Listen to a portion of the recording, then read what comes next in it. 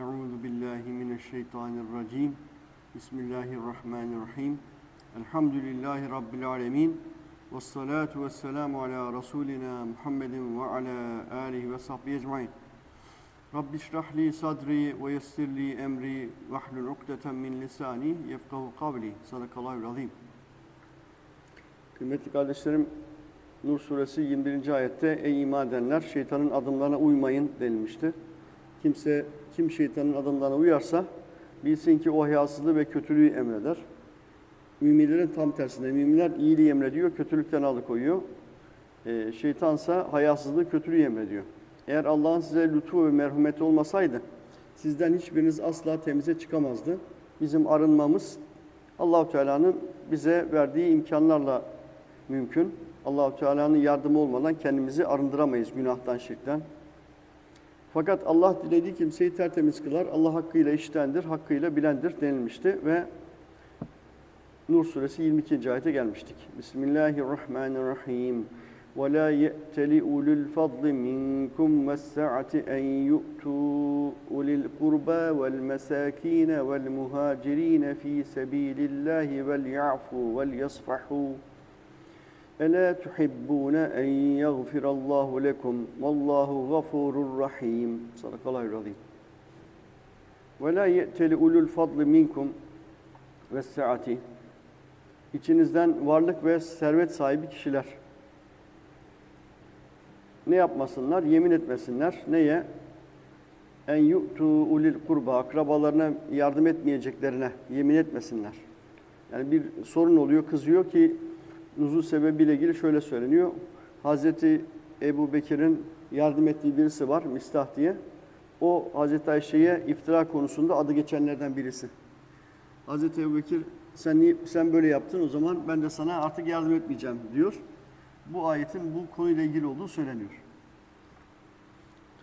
Evet, varlık sahibi kimseler e, akrabalarıma yardım etmeyeceğim, akrabalara yardım etmeyeceğim yemin etmesin. Vel mesakine fakirlere yardım etmeyeceğim demesin. Vel muhacirine fi sebilillah Allah yolunda e, hicret edenlere yardım etmeyeceğim demesin.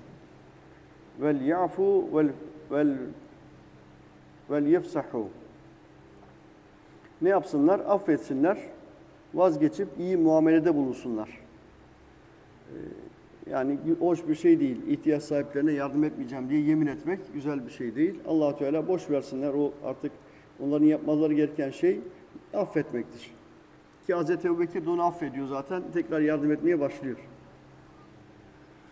Ela tuhibbune en yagfirallahu lekum.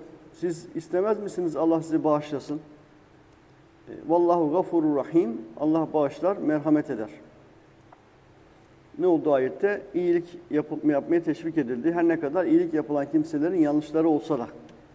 Niye? E, onlardan iyilik yapmayı durdurursak e, o zaman onlar düzelmekten vazgeçebilirler. Allah korusun daha fazla yanlışa meyledebilirler. Daha fazla şeytana uyarlar vesaire.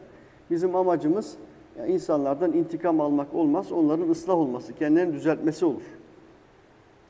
İnnellezîne yermûnel muhsanâtil gâfilâtil mu'minâti İffetli kadınlara bir şeyden habersiz mümin kadınlara iftira atanlar. Ee, yine konu Hazreti Ayşe, Hazreti Ayşe iftira atılmıştı. Ee, ama burada ne oldu? İfade genel kullanıldı şimdi. Niye? E, Kur'an-ı Kerim falancanın filancanın kitabı değil ki tüm insanlara gönderiliyor. وَمَا اَرْسَلْنَاكَ اِلَّا رَحْمَةً لِلْعَالَمِينَ Seni alimlere rahmet olarak gönderdik diyor Rabbimiz, Peygamberimiz Aleyhisselatü Vesselam'a. Yani tüm alemlere, tüm insanlara gönderildi.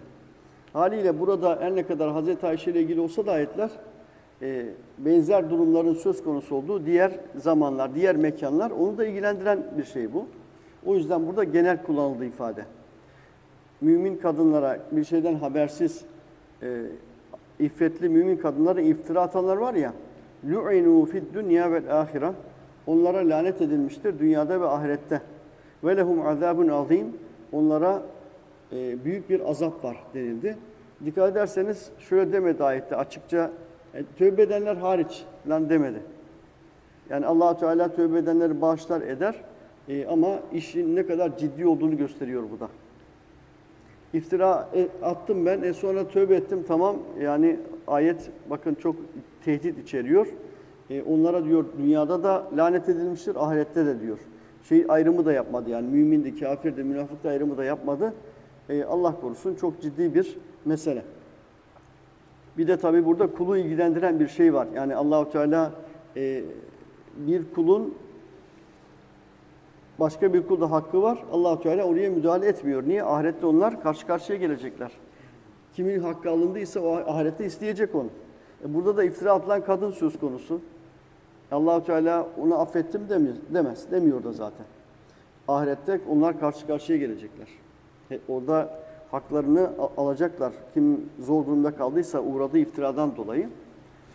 allah Teala burada böyle lanetten söz etti. E, işin ne kadar ciddi olduğunu ifade etti. يَوْمَ تَشْهَدُ عَلَيْهِمْ اَلْسِنَتُهُمْ Ahiretteki durumu veriyor şimdi de. Onların dilleri şahitlik eder. Öyle bir gün ki o dilleri şahitlik eder. Ve eydihim elleri de şahitlik eder.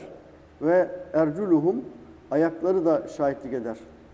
Bima kanu yamelun yaptıklarına. Böyle dehşetli bir gün yani. İnsanların dilleri şahitlik ediyor, elleri, ayakları şahitlik ediyor. Dili ne söylediyse onu söylüyor. Elleri ne yaptıysa onu söylüyor. Ayakları ne, nereye gittiyse onu söylüyor. Bu tür ayetlerin mecaz olduğu da söylenir bazı alimlerce. Ama e, allah Teala'nın her şeye gücü yettiği için biz bilemeyiz. Belki de gittiğimizde gerçekten elimiz ayağımız konuşur ve yaptıklarımızı anlatıyor olabilir. En doğrusunu Allah bilir. Bima kanu yamelun onların yaptıklarını anlatır. Yevmezin yuvefihimullahu dinehumul hakka ve ya'lemune ennallâhe huvel hakkul mubin. O gün ahiret günü yani Allah onlara kesin kesinleşmiş cezalarını buradaki din ceza anlamında tas tamam verecek ve onlar Allah'ın apaçık bir gerçek olduğunu bileceklerdir. Ahirette şüphe kalmayacak. Hani kafirler diyorlar ki Allah'ı görelim.